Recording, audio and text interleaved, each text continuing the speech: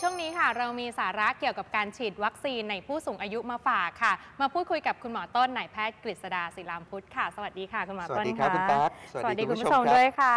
แหมคุณหมอต้นคะสงสัยมากเลยว่าครับวัคซีนที่เราเคยฉีดกันตอนเด็กๆเนี่ยค่ะ สามารถป้องกันไปได้ตลอดชีวิตเลยหรือเปล่า คุณตั๊กค้ากำไรเกินควรนะอ่าจะเอาวัคซีนเดียวที่ฉีดตอนเด็กๆเนี่ยเอามาให้คลุมไปตลอดชีพเลยเหรอ เพราะอะไรรู้ไหม ครับเพราะว่าเราจำได้ว่าครั้งสุดท้ายที่เราฉีดวัคซีนคือตอนครับสมัยประถม อ๋อนี่คือจากนั้นล่สุด เราก็ไม่เคยฉีดวัคซีนอีกเลย จนมาปัจจุบันเนี้ยเพิ่งจะมีวัคซีนไข้หวัดใหญ่ อืมก็เลยสงสัยว่าเอ๊ะที่เราฉีดฉีดๆไปเนี่ยสามารถป้องกันไปได้ตลอดไหม จริง ๆ แล้วมันมีมันขึ้นอยู่กับชนิดด้วยครับคุณตั๊กแต่ค่ะโดยมากแล้วเนี่ยหลักการของวัคซีนเนะครับพอฉีดไปแล้วโดยทั่วไปเนี่ยมักจะขึ้นมาหรือว่ามีภูมิขึ้นมาให้กันเนี่ยประมาณภายใน 2 สัปดาห์ค่ะแล้วก็อยู่ไปนานเท่าไหร่ขึ้นกับชนิดของวัคซีน เช่น บางชนิดอยู่ได้ 10 ปีเอาอย่างบาดทะยักอย่างเงี้ยครับคุณตั๊กหรือว่าไวรัสตับอักเสบบีอย่างเงี้ยก็อยู่ได้นานหลายปีเหมือนกัน แต่ทีนี้เนี่ยครับมันก็จะมีบางช่วงบางจังหวะของชีวิตคุณตั๊กที่ชีวิตมีสะดุด หกล้มบ้าง มันคงค่ะไม่มีใครที่จะมีชีวิตแบบไร้รอยต่อราบเรียบไปอ่าตลอด เช่น บางทีอาจจะมีถูกหม้าแมวกัด หรือว่าอาจอุบัจะติมีเหยียบเหตุตะปูบ้างอ่าค่ะอันนี้ก็จำเป็นต้องฉีดวัคซีนเขาเรียกว่าเป็นวัคซีนเฉพาะกิจไป เช่น วัคซีนป้องกันพิษสุนัขบ้า วัคซีนบาดทะยักอย่างนี้ หรือว่าอาจจะเป็นวัคซีนอื่นๆค่ะนะครับซึ่งจะเข้ามาได้อ๋ออันนี้เป็นช่วงจังหวะนะใช่ครับแต่ว่าวัคซีนตัวหลักๆ อย่างเงี้ยอย่างสำหรับผู้สูงอายุอย่างเงี้ยค่ะจำเป็นไหมที่จะต้องฉีดวัคซีน จริง ๆ แล้วจำเป็นครับคุณตั๊กค่ะเพราะผู้สูงวัยเนี่ยจะมีความพิเศษอยู่หนึ่งก็คืออาจจะมีภูมิต่ำลงนะครับค่ะพอภูมิต่ำลงแล้วเนี่ยเกิดอะไรขึ้นติดโรคง่ายอย่างสมมติติดโรค 10นะครับเป็นหวัดนิดเดียวเนี่ยก็อาจจะกลายเป็นแบบติดเชื้อในกระแสเลือดหรือเป็นหนักขึ้นมาเป็นร้อยเลยก็ได้ค่ะเพราะฉะนั้นการฉีดเนี่ยอาจจะจำเป็นครับในการที่จะป้องกันเอาไว้ก่อนอืมก็คือเป็นการป้องกันใช่แล้วสามารถป้องกันโรคได้ครับผมค่ะ แล้วอย่างผู้สูงอายุเนี่ยอายุเท่าไหร่ที่ควรจะต้องฉีดวัคซีนคะคำถามดีคุณตั๊กจริง ๆ คนเดี๋ยวนี้เนี่ยดูไม่ออกนะ 60 ก็ยังดูแบบโอ้โหเหมือน อายุไม่เท่าไหร่อยู่เลยนะครับ ค่ะเพราะฉะนั้นเนี่ยถ้าดูจากวัยอย่างเดียวเนี่ยครับอาจจะตีเส้นที่ตรงประมาณสักเลข 5 ก็คือ ค่ะ 50 ขึ้นไปนะครับควรจะฉีดวัคซีนที่มันจะป้องกัน หรือว่าวัคซีนที่มันจะช่วยในเรื่องของทำให้โรคที่จะเข้ามาตอนภูมิต่ำเนี่ยอืมมันเบาบางลงหรือว่ากันมันได้ครับ อืมค่ะ เดี๋ยวเราจะได้รู้กันว่าจะต้องฉีดวัคซีนอะไรบ้าง แต่อยากรู้อีกอย่างหนึ่งค่ะว่าจะมีกลุ่มพิเศษอะไรไหมที่จำเป็นจะต้องฉีดวัคซีนต้องฉีดเฉพาะค่ะพูดง่ายๆ ผู้ใหญ่ผู้สูงวัยผู้อาวุโสไหมไม่แน่เหมือนกัน คนที่มีลักษณะนะครับภูมิคล้ายกับผู้ใหญ่ก็คือภูมิต่ำง่าย อย่างเช่น ในโรคพิเศษครับคุณตั๊กอย่างโรคเบาเช่นหวาน ค่ะโรคหัวใจไตวายเรื้อรัง โรคปอดอุดกั้นโรคถุงลมโป่งพอง คนที่เป็น HIV คนที่เป็นโรคแพ้ภูมิตัวเอง หรือว่าค่ะ คนที่ต้องกินยาสเตียรอยด์กดภูมิอืมหรือคนที่เพิ่งเปลี่ยนอวัยวะมา แล้วต้องกินยาเพื่อกดภูมิเอาไว้ เหล่านี้เนี่ยคุณตั๊กผลลัพธ์ก็คือภูมิที่ต่ำลง และเมื่อภูมิต่ำลงก็ต้องมีการป้องกันเป็นเกราะเอาไว้อีกชั้นหนึ่งค่ะครับ เรียกว่าเป็นกลุ่มที่มีความเสี่ยงสูง ถูกต้องครับคุณค่ะตั๊ก แล้วอย่างนี้ในผู้สูงอายุกับคนกลุ่มพิเศษกลุ่มเนี้ยค่ะ จะต้องฉีดวัคซีนอะไรบ้างที่สำคัญ จริง ๆ แล้วถ้าเป็นผู้ใหญ่นะครับคุณค่ะตั๊กถ้า 50 ปีขึ้นไปหรือ 60 ขึ้นไปเนี่ยจำง่ายๆเลยครับ มันจะมีโรคยอดฮิตนะครับค่ะที่จะเข้ามาในชีวิตอยู่ 3 อย่างนะครับ 1. ไข้หวัดใหญ่นะไข้ฮะหวัดไวใหญ่รัสไข้หวัดค่ะ ใหญ่ 2. ครับเรื่องของ เชื้อแบคทีเรียนิวโมคอคคัสนะครับซึ่งถ้าพูดอันนี้อาจจะไม่เห็นภาพต้องบอกว่าเป็นเชื้อปอดบวมในผู้ใหญ่ค่ะ อ่านะฮะแล้วอย่างที่ 3 ก็คืองูครับ งูสวัสด snake hello ใช่ครับ งูสวัสดนะฮะ อืมค่ะ พวกนี้เนี่ยเป็น 3 โรคฮิตที่เข้ามาในชีวิตได้ แล้วก็มาระรานชีวิตผู้ใหญ่ได้ครับ อืมแล้วถ้าการไปฉีดเนี่ยค่ะ นอกจากป้องกันแล้วเนี่ยสำหรับคนที่เป็นแล้วเนี่ยจะไปฉีดเนี่ยทันไหมคะ ถ้าเป็นอยู่ช่วงนั้นสมมุติว่ามีไข้อยู่ตอนนั้นเลยเป็นค่ะไวรัสไข้หวัดใหญ่อยู่ตอนนั้นเลย ไม่แนะนำครับว่าอย่าเพิ่งไปฉีดอืมไม่แนะนำว่าไม่ควรฉีดตอนนั้นนะฮะเพราะฉะนั้นเนี่ยจริง ๆ แล้วเราควรดูแลสุขภาพให้ดีก่อนที่จะไปฉีด อย่างเช่นว่าถ้ามีไข้อยู่ไม่สบายอยู่ไม่แน่ใจ ค่ะว่าป่วยด้วยโรคอะไรอยู่เนี่ยอย่าเพิ่งไปฉีดวัคซีนเลยครับ อืม เอาให้เซฟไว้ก่อน เพราะการฉีดวัคซีนบางทีมันก็ทำให้เกิดอาการที่เป็นผลข้างเคียงขึ้นมาเหมือนกันนะคุณตั๊ก ค่ะ มีอะไรบ้างคะที่เป็นผลข้างเคียงจากการฉีดวัคซีน ถ้าเป็นวัคซีนประเภทที่เรียกว่าเป็นประเภทเชื้อเป็นหรือเชื้อตายก็ตาม ค่ะอาจจะทำให้มีไข้ก็ได้หลังฉีดเนี่ยเชื่อว่าคุณผู้ชมเราหลายคนก็คงอาจจะเคยมีประสบการณ์นะฮะว่าพอฉีดไปแล้วมีตัวรุมๆขึ้นมา อืม หรือว่าบางคนเนี่ยครับพอฉีดไปแล้วเนี่ยเกิดอาการคลั่นเนื้อคลั่นตัวอย่างเงี้ยคุณค่ะตั๊กนี่ก็เป็นอาการจากวัคซีนได้ครับ ไม่เรียกว่าแพ้วัคซีนนะ ค่ะ แต่เรียกว่าเป็นปฏิกิริยามากกว่า ค่ะ แล้วมีวัคซีนไหนไหมคะ คุณหมอต้นที่เป็นวัคซีนเฉพาะ เฉพาะกลุ่มอย่างเงี้ย อย่างเช่น อาจจะเป็นประวัติในครอบครัว ติดเชื้อไวรัสชนิดหนึ่งอืมอะไรอย่างเงี้ยค่ะ กลุ่มครับ เนี้ยจะต้องฉีดวัคซีนเพิ่มเติมไหม น่าสนใจครับคุณตั๊กมันก็มีเหมือนกันนะ อย่างค่ะ เช่น ถ้าในบางครอบครัวเนี่ยมี เชื้อไวรัสมันจะมีไวรัสพิเศษบางชนิดนะครับค่ะที่ผ่านมาทางสายเลือดได้ นั่นก็คือไวรัสตับอักเสบบีอืมพวกนี้ผ่านมาทางเลือดจากแม่สู่ลูกได้ค่ะเพราะฉะนั้นถ้ามีประวัติไวรัส B หรือตับอักเสบ B ในครอบครัวเนี่ยลูกควรฉีดครับ แต่ก่อนที่จะฉีดเนี่ยต้องมีเหมือนกับพิธีกรรมเล็ก ๆ ก่อนค่ะคือต้องเจาะเลือดดูก่อนครับอืมดูว่าเรามีภูมิหรือยัง เพราะบางคนอาจจะมีภูมิแล้วก็ได้คุณตั๊กค่ะถ้ามีภูมิแล้วก็มีข่าวดีครับ คือไม่ต้องฉีดละ แต่ถ้าไม่มีภูมิก็ฉีดซะแค่นั้นเอง อ๋อค่ะ แล้วอย่างนี้จะรู้ได้ยังไงจำพอมีข้อสังเกตไหมคะว่า คนกลุ่มไหนที่จะต้องไปฉีดนอกจากอายุเพิ่มมากขึ้นแล้ว สังเกตง่ายๆครับว่าถ้าเราป่วยไม่สบายบ่อย หรือมีความเสี่ยงอายุตัวอย่างง่ายๆครับ ถ้าเป็นคนที่ทำงานในแวดวงเนี่ยสาธารณสุขนะครับค่ะอย่างคุณหมออย่างพยาบาล หรือว่าอย่างใครก็ตามสัตวแพทย์ก็ตามครับ ค่ะที่ทำงานแล้วต้องมีความเสี่ยงที่จะต้องได้รับไวรัสได้รับเชื้อบางชนิด อย่างสัตวแพทย์หลายท่านก็จำเป็นจะต้องฉีด วัคซีนพิษสุนัขบ้า หรือวัคซีนป้องกันโรคพิษสุนัขบ้าเนี่ยกันเอาไว้ก่อนค่ะ เขาเรียกเป็นลักษณะการฉีดแบบโปรโตคอลที่กันเอาไว้ ส่วนในคนที่ทำงานในโรงพยาบาลก็อาจจะต้องฉีดไวรัสตับอักเสบบีกันเอาไว้ ค่ะไวรัสไข้หวัดใหญ่กันเอาไว้ หรือคนที่ทำงานในที่ที่คนเยอะๆที่ชุมนุมชนอย่างเงี้ยครับค่ะอาจจะจำเป็นต้องฉีดวัคซีนที่กันพวกไข้หวัดเอาไว้ค่ะ น่าจะช่วยได้ ค่ะ บางคนเคยฉีดไปแล้วค่ะหมอต้น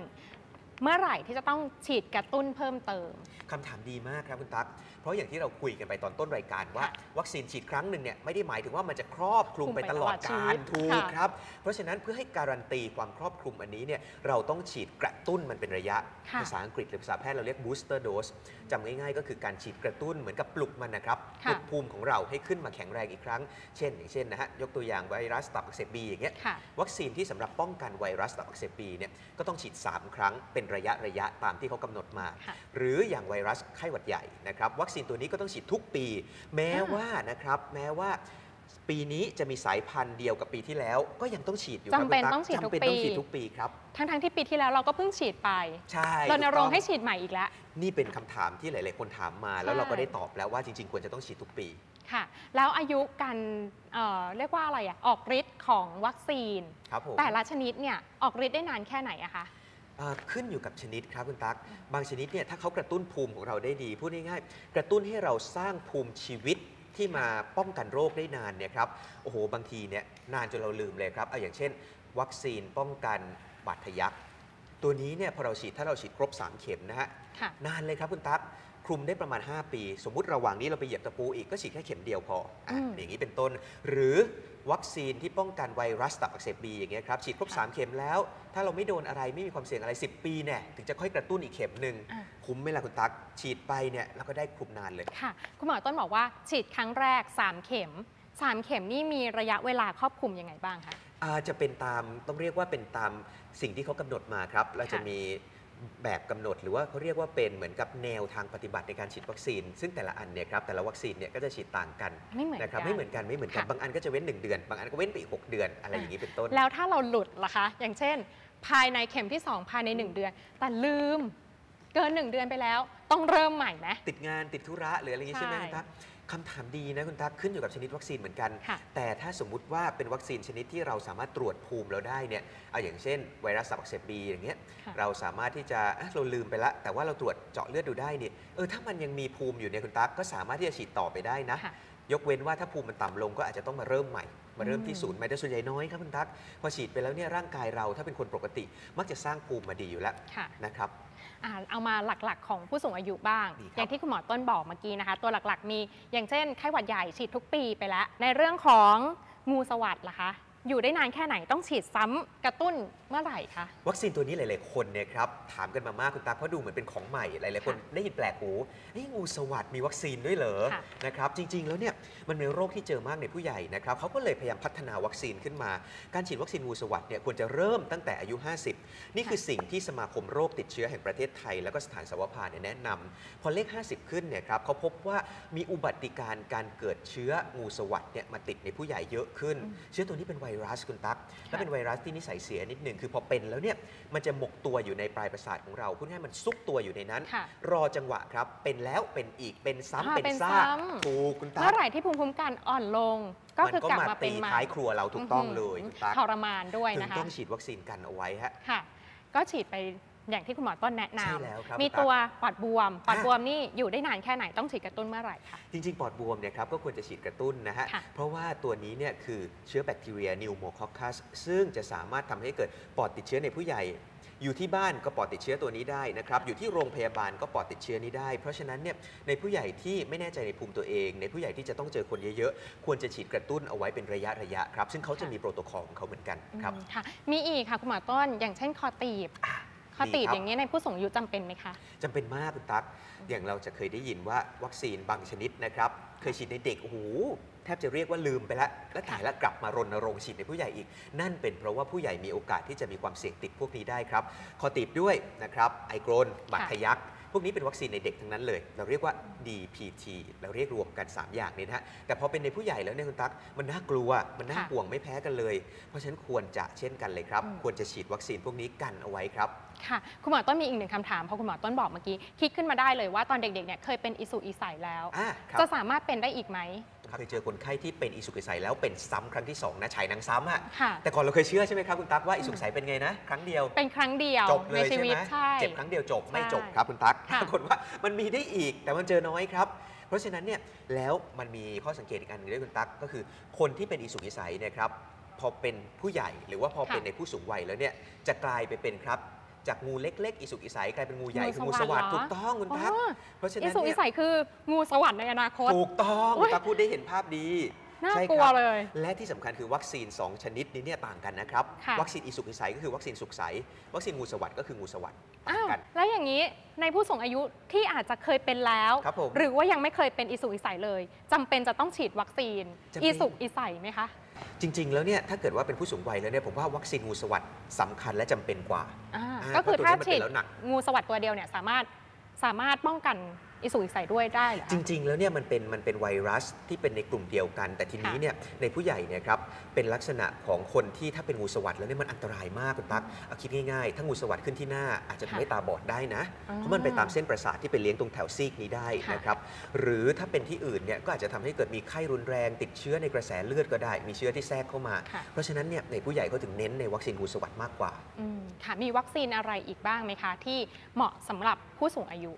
จริง ๆ แล้วถ้าเกิดว่าใครที่ยังไม่เคยตรวจไวรัสตับอักเสบบีนี่ก็เป็นอีกตัวหนึ่งครับ ค่ะที่แนะนำให้เจาะเลือดก่อนแล้วค่อยไปฉีดวัคซีน ค่ะเพราะไวรัสตับอักเสบบีก็เป็นผู้ร้ายที่มาเนียนๆเหมือนกันคุณตั๊กมันทำให้เกิดเรื่องของโรคมะเร็งตับได้ค่ะ ทำให้ความเสี่ยงตัวนี้เพิ่มมากขึ้นได้ครับอืมค่ะ อย่างนี้ ก่อนที่จะไปฉีดวัคซีนเนี่ยมีคำแนะนำไหมคะว่า เมื่อไหร่ที่เหมาะสมจะไปฉีดวัคซีนแล้วจะต้องเตรียมตัวอย่างไรบ้างอย่างแรกครับคุณตั๊กดูจังหวะเวลาดูฤดูกาลนะคอ่ารับช่วงนี้หน้าฝนฉีดเยี่ยมไข้หวัดใหญ่ทันไหม ก็ดีคุณตาก็ดีครับ แต่จริง ๆ แล้วเนี่ยถ้าให้ดีกว่านั้นนะ ฉีดมาก่อนหน้าฝนเลย อ่าเพราะไวรัสมันเริ่มหน้าฝนถูกไหมถ้าเราฉีดหน้าค่ะ ฝนมันอาจจะไม่ทัน